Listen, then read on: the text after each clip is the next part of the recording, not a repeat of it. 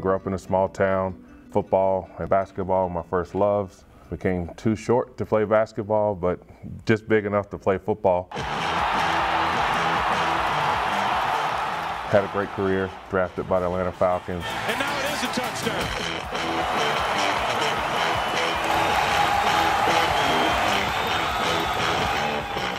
Had a couple of years with the Tennessee Titans, retired with the New England Patriots. Brady out to Crumpler.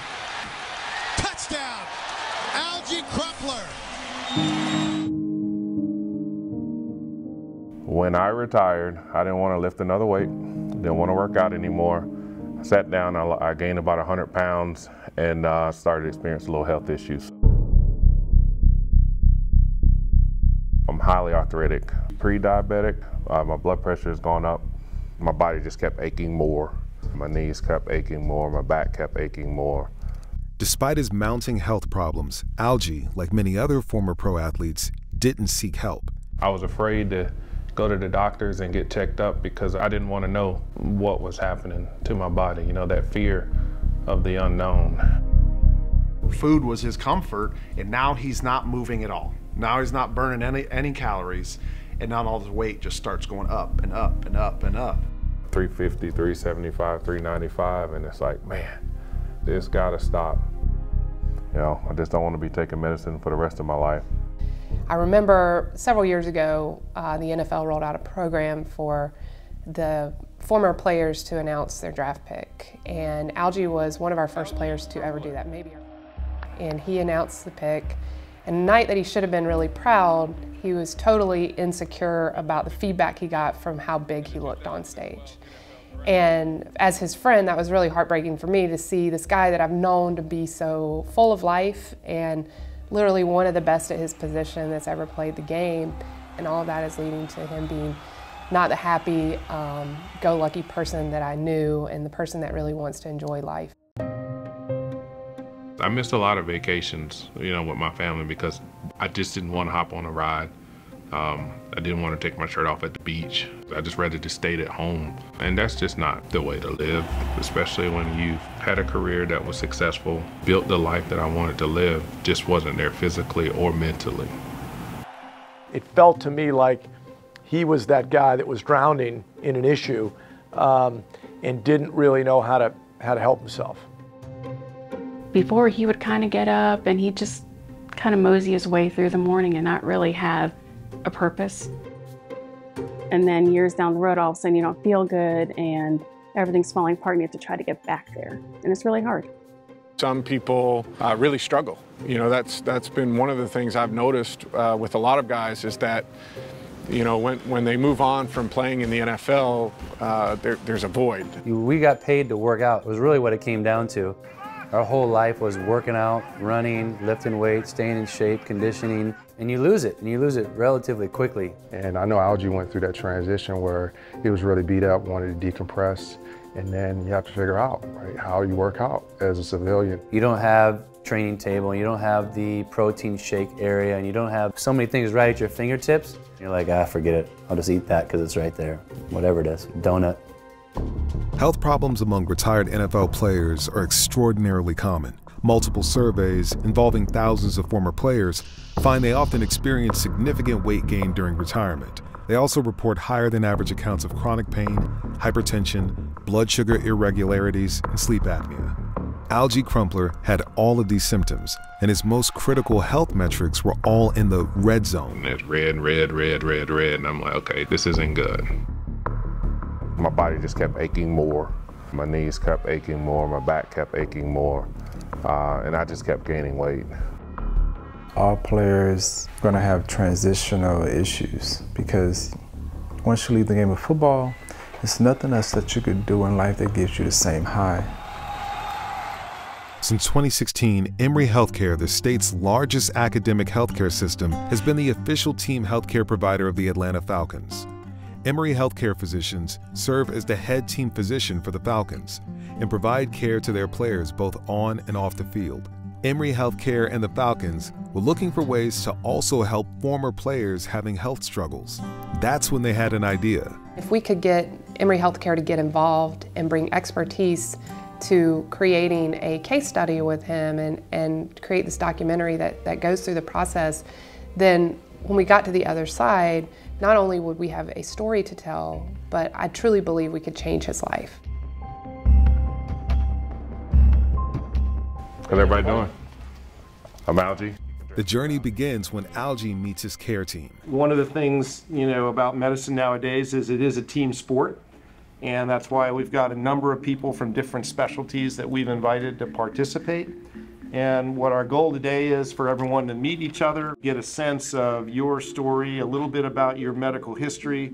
And then after that, we'll go offline and try and make a plan I think it's safe to say that if Alge had not made a decision to take control of his own health, sought the partnership and teamwork with Emory Healthcare, that undoubtedly he would have been taken from us at far too young an age. I'll do really well as long as we have a plan in place. He is very competitive. So when he sets a goal, he's going to hit that goal because he doesn't want to tell anybody he didn't reach something he was going for. Alge's journey starts with a visit to an Emory Healthcare primary care physician for a full checkup and analysis. How are you? Crumpler, good to meet you. Good to meet you as well. I understand you're 40. 40 years old. And you're here for us to get you back in shape. If you can. Has more than the average amount of mileage on him for a 40 year old man. As we go forward, the specialist will get more narrow and deeper in their focus. Hey there, Mr. Crumpler, good to see you again. Saul Jacobs. Hey, Dr. Jacobs. Welcome. I do endocrinology, so my piece in this was to address some of the metabolic issues. The majority of the country is, is overweight. With that weight gain comes cardiovascular risk, risk for things like abnormal glucose, abnormal lipids, high blood pressure. Have you used the pens before? No, I'm not familiar with it. To help Alge manage his appetite and lower his diabetes risk, Dr. Jacobs prescribes Saxenda, a self injected medication, and Alge is trained on how to use the injector.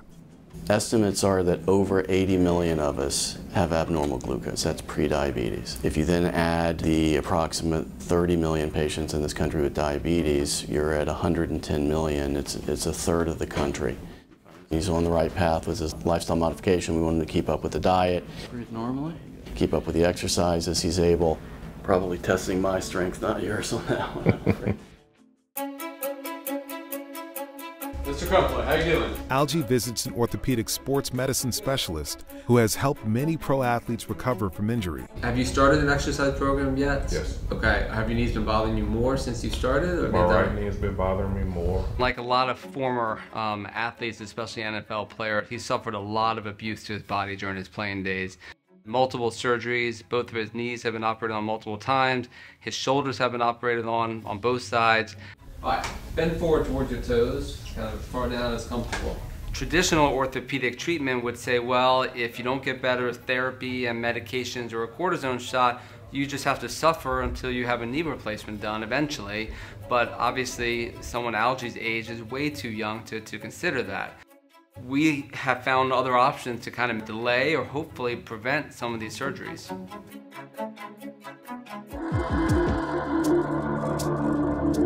Next up for Alge is a thorough psychiatric exam. His wife, Jen, has also been asked to attend the session. The conversation was held behind closed doors without cameras present to give the couple privacy. You know, it's not easy for me to seek help or to, you know, reach out to Emory doctors and say, hey, can you help me? I think Alge is, is very motivated at this point to, to make a change. One of the things that we're working on is to engage people in his social network, to be sort of cheerleaders for him to move forward.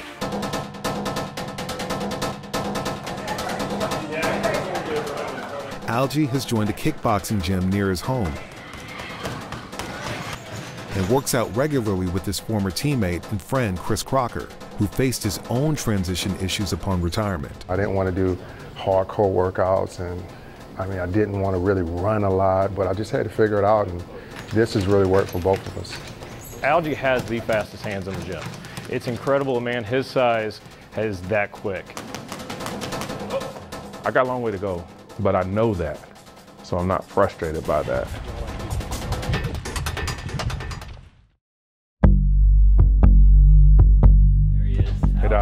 Good to see you. How you doing? You ready to do this? I'm ready. All right, let's get you back. Already nearly 60 pounds lighter, Alge goes to visit sports cardiologist Dr. Jonathan Kim for a demanding but very important heart stress test. So we'll have you on our uh, treadmill here.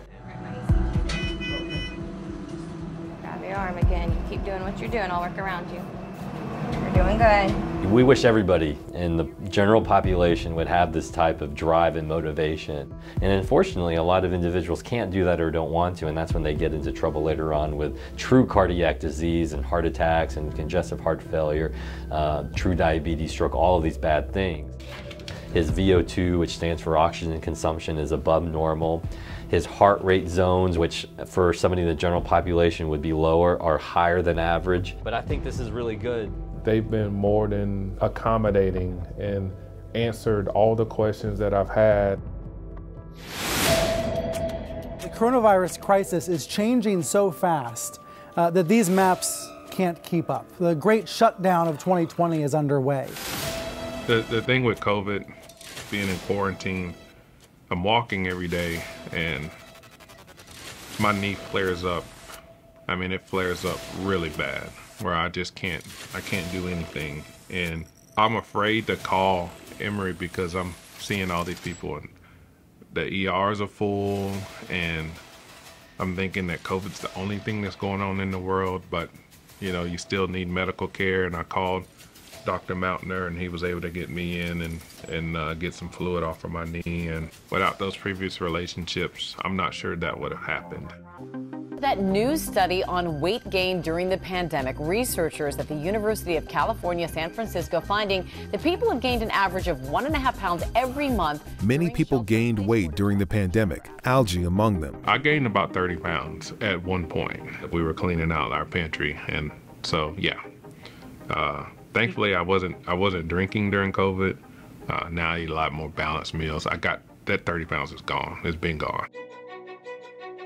Crucially, the support of Alge's family and social circle was there when he needed it to get through his COVID setback and beyond. You know, we're on a group chat. It's a few of the former teammates, and uh, we, we post a lot of our workouts. He's posting something every day. We've reached out to each other at different moments, and if we feel like uh, either of us needs something, it's great to have that, not only physically, but mentally. No matter what happens, we're going to always stay connected. We're going to be there for each other and support each other. Alge's wife, Jen, says the way Emory healthcare physicians approached Alge's care was as important as the medical plan itself. They didn't try to give him crazy amounts of information to scare him into doing what was right or to make changes. They just gave him all the information, let him see it. They told him, these are the changes we want you to make. And they kept checking up on him. And he really felt like he could talk to them and let them know if things weren't going right or if he was frustrated. Now, more than four years into his journey, Alge is much more fit and in control of his health and his outlook on life. More importantly, his dangerous health metrics have all turned from red to green. Don't have any red now. Doesn't mean I need to stop, but don't have any red now. To say I'm shocked would be an understatement of what has happened. I feel like he's the guy that was playing. Like, that guy's back. And to see someone living their life and being happy and back where, like, that's what life's about. I mean, especially when that's someone you care about.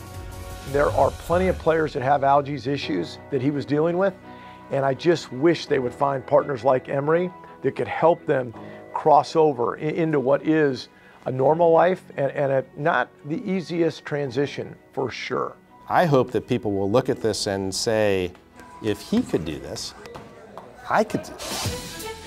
The only thing you learn about your health when you're playing is whether you're healthy enough to play or you're not healthy enough to play. And now it's just you and your family. So find out what's going on with your body. I'm glad I'm committed to a routine at this point in my life, that my health matters. I continue to work. I know that.